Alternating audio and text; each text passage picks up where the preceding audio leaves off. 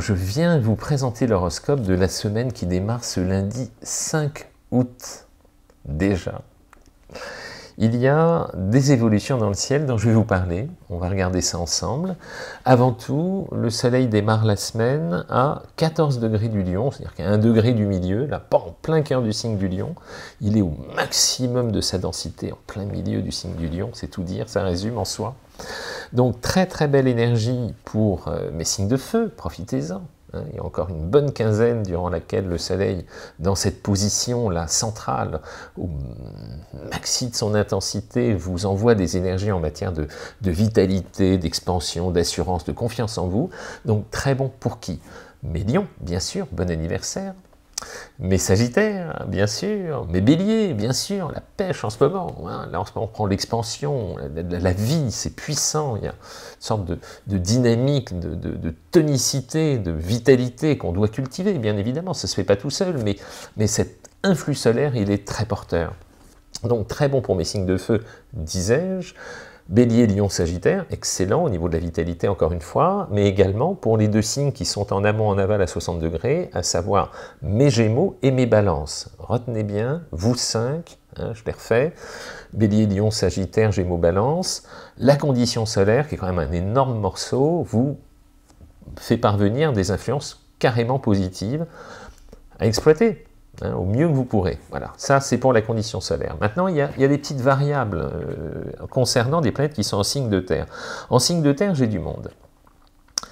J'ai euh, Mercure, j'ai Vénus qui arrive, j'ai Uranus toujours, mais lui il est très lent, vous le savez, il est à 27 degrés, donc euh, on a le temps de le voir venir. Ses cycles de rotation sont assez lents, il fait son tour en 84 ans, donc en gros, tous les 7 ans il change de signe, là tout doucement, tout doucement, il est à la fin du taureau. Et il apporte Uranus, je vais commencer par lui, on va changer de méthode. Uranus, la créativité, la nouveauté, l'impulsion, le, besoin de changement, le besoin parfois de, de, couper ce qui fonctionne plus de manière soudaine, parfois trop soudaine, il faut faire très attention. Uranus, troisième décan du taureau, envoie cette énergie d'évolution, de, mouvement, de mobilité, mais en même temps d'impatience, ça qu'il faut avoir en tête, pour mes taureaux mieux canalisé pour mes vierges, mes capricornes, mes cancers et mes poissons, et Uranus forme une opposition avec mes scorpions, donc pas de décision hâtive mes scorpions, pareil pour mes lions, pareil pour mes versos. Ne me tranchez rien de façon trop rapide, à moins que ça ne soit mûrement, mais alors, mais alors mûrement réfléchi, c'est l'idée avec Uranus, comme ça qu'il faut le gérer, prendre le temps de bien faire les choses, c'est un peu contre-intuitif quand on ressent cette pulsion de changement, de, entre guillemets, révolution, de transformation, faut essayer de le canaliser de façon à pas aller plus vite que la musique, on pourrait voir comme ça. En tout cas, c'est comme ça que je l'appréhende. Hein. Quand on veut faire bien les choses, on prend le temps de bien les faire. Tout simplement. Voilà. Et puis, le gros morceau de la semaine, ce sont les évolutions de deux planètes qui, pour moi, sont extrêmement importantes parce que ce sont euh, les deux premières des planètes dites outils, à savoir Mercure, la façon dont on communique, hein, dont on s'adapte aux situations, dont on est dans l'interaction, l'échange, la, communication, la mobilité, c'est ça Mercure, hein, qui lui est Vénus, dont je vous parlerai après. Alors, Mercure démarre la semaine à 5 degrés de la Vierge. Il y a des affinités naturelles, je vous en avais parlé de mémoire la semaine passée ou celle d'avant, je ne sais plus, mais en tout cas ça a dû être récent. Mercure vient de rentrer, en Vierge, là, 5 degrés, Qu'est-ce que ça donne 5 degrés? Pas grand-chose en soi, c'est le premier décan, mais tout le monde est concerné parce qu'il y a une norme d'influence tout au long du signe. Hein. c'est dégressif, mais c'est quand même là. Quel que soit le contexte, quand une planète est quelque part, elle a une influence très forte sur le point sur lequel elle focalise, et une influence éclairante tout de même, mais de façon dégressive à, mesure qu'elle s'éloigne du point central. On est tous concernés dans un signe dans sa globalité, à un degré plus ou moins important, parce que j'énonce maintenant. Mercure le mental, l'intellect en vierge. Donc très bon à la base pour mes vierges, mes taureaux, mes capricornes, et par jeu d'extension, mes cancers et mes scorpions. Vous traversez en ce moment une période qui est plutôt propice pour faire passer le message, vous synchroniser, comprendre les mécanismes, euh, faire en sorte que on rentre avec subtilité, cohérence, contenu, construction et finesse dans l'oreille des interlocuteurs. Vous avez en ce moment la capacité de travailler cette valeur ajoutée. Faites-le. Hein. Quand on a une information à faire passer, on la soupèse, on attend le bon moment, on se synchronise euh, à la connexion de l'interlocuteur. Il y, a des méthodes toutes simples. il y en a une que j'adore. Je ne sais pas où j'avais lu ça, mais je l'avais retenu parce que ça m'était un peu frappé comme au coin du bon sens. On dit ventre affamé n'a pas d'oreille. Je vous en ai parlé de ce truc-là. Lorsque euh, quelqu'un, en gros, on a beaucoup moins de scènes de ménage et de conflits après les repas qu'avant les repas. C'est ça que je veux qu'on garde en tête. Donc, lorsqu'on a une discussion un peu sensible à avoir avec qui que ce soit, le mieux est de le faire quand les ventres sont pleins. Ça paraît tout bête dit comme ça, mais ça marche pas mal, je vous assure. Hein ventre affamé n'a pas d'oreille. L'image est assez parlante. Donc, par exemple, hein, et puis surtout, euh, se synchroniser avec un interlocuteur tel quel qu'il soit, en fait, nécessite euh, assez fréquemment un minimum d'ajustement. Voilà. Imaginons que vous ayez envie d'aller euh, euh, dîner dans un restaurant asiatique, japonais par exemple, et puis que vous ayez envie d'emmener un, une interlocutrice. Et eh bien peut-être qu'avant de lui faire la surprise, il serait intéressant pas euh, farfelu, s'enquérir en quelque sorte de ses affinités. Parce que certains adorent, moi j'adore les japonais, et d'autres moins. Donc si vous le mettez dans le fait accompli, vous risquez d'avoir des réactions un peu de rejet. À l'inverse, si vous dites, mais est-ce que tu aimes le Japon? Est-ce que tu aimes le poisson? Est-ce que tu aimes ci? Est-ce que tu aimes ça? Et en fonction de ça, le questionnement, c'est l'ajustement. Donc je suis un fervent convaincu de la communication la plus large et puis plus la plus fine. Plus on est large au départ, plus on cible et plus on approche le point de fonctionnement de quelqu'un, parce qu'on sait très globalement, moi qui ai Mercure en Vierge, qu'on est allé d'instinct euh, d'accord avec l'essentiel des interlocuteurs à, hauteur d'environ 90%. Hein. le, soleil se lève le matin, hein, il fait chaud l'été, il fait froid l'hiver. Celui qui vous dit l'inverse, quelque part, peut-être qu'il n'est pas totalement disponible pour avoir une communication ouverte avec vous. Hein. Donc je commence toujours par des mécanismes de bon sens, de façon à me synchroniser avec l'oreille de l'interlocuteur. Et en fonction de ça, on arrive à avoir un échange beaucoup plus fin beaucoup plus fin, où on essaie de faire converger les points de concorde. Et plus on accumule les points de concorde sur des, choses de bon sens, plus l'information plus pointue, on va avoir la capacité de l'expliquer avec finesse, sans aspérité encore une fois, pour mieux être entendu ou mieux être réajusté, ce qui est le but premier. Mon obsession, c'est de rentrer dans l'oreille de l'interlocuteur avec le minimum de perte d'information. On est tous différents. Voilà l'idée. Donc Mercure, il vous propose ça. Si ce n'est, si ce n'est subtilité, c'est qu'à partir de ce lundi 5, hein, à 4h57 en temps sidéral plus 2 heures, ça fait en gros 5, à 7 h du matin, Mercure va amorcer ce qu'on appelle une marche rétrograde. Alors vous allez entendre, tout est sans contraire sur les marches rétrogrades. Encore une fois, une marche rétrograde, c'est pas négatif. Ça correspond à ce qu'on appelle un temps de réponse il y a une énergie qui est produite lorsqu'une planète arrive, ce qu'on appelle en marche directe, lorsqu'elle fait son tour tout simplement, et puis de temps en temps, vu de la Terre, dans, nous qui tournons autour du Soleil, nous avons dans notre champ visuel certaines planètes qui sont de l'autre côté du Soleil et donnent l'impression, à un moment ou à un autre dans leur cycle, de reculer. C'est dans notre champ visuel. On appelle ça un mouvement rétrograde planétaire, vu de la Terre. Et donc, un mouvement rétrograde, c'est un peu un temps d'attente, un temps de latence, un temps de réflexion, un temps de maturité, un temps de maturation en quelque sorte. Donc en soi, c'est pas négatif, mais ça met en place fréquemment le fait qu'il faut prendre le temps de réajuster les éléments en présence. Donc rien de négatif là-dedans, si ce n'est que parfois il faut être moins impatient, prendre un petit peu de recul et rééquilibrer tout ce qui mérite un peu de finesse pour que ça passe mieux in fine, c'est-à-dire à la fin, lors du troisième passage. Bref, pour faire simple, Mercure amorce une marche rétrograde et il va être rétrograde du 5 août au 28 août. Voilà. Donc si certaines discussions sont un peu en stand-by, c'est pas plus mal. Ça permet justement de se distancier des problématiques auxquelles on est confronté, des interrogations auxquelles on espère avoir des réponses ou des réajustements. C'est rien de négatif là-dedans, ça correspond à des phases qui sont nécessaires pour faire évoluer tout débat, toute discussion, toute communication, euh, tout compromis intelligent, etc. Donc rien de négatif. Si ce n'est que si vous êtes dans une phase d'impatience, vous attendez pour un contrat, quelqu'un qui vous répond, etc., paniquez pas. Les marches rétrogrades, il y a un temps de réponse. C'est un peu retardé. Rien de plus, je vous rassure. Et puis le 28 août, il repartira en marche directe de façon très rapide, et là, beaucoup de choses vont se décanter. Voilà pour Mercure. Donc, dans tous les cas, Mercure, là dans la Vierge, c'est ce que je disais, très bon pour mes signes de terre, quoi qu'il en soit, pour affiner vos analyses. Très bon pour mes Vierges, mes Capricornes, mes Taureaux, mes Cancers, mes Scorpions, vous êtes tout bon.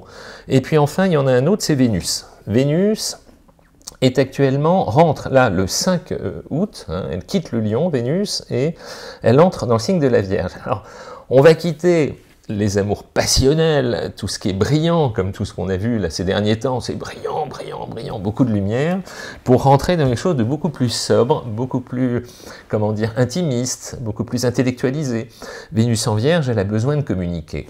Les Vénus en Gémeaux et en Vierge ont un tronc commun, sont des signes gouvernés par Mercure, donc sur le plan affectif, euh, ce sont des profils qui nécessite le, comment dire, le fait d'être sur la même longueur d'onde. Je parlais d'importance de la communication, une Vénus en Vierge a besoin d'être sur la même longueur d'onde que l'autre.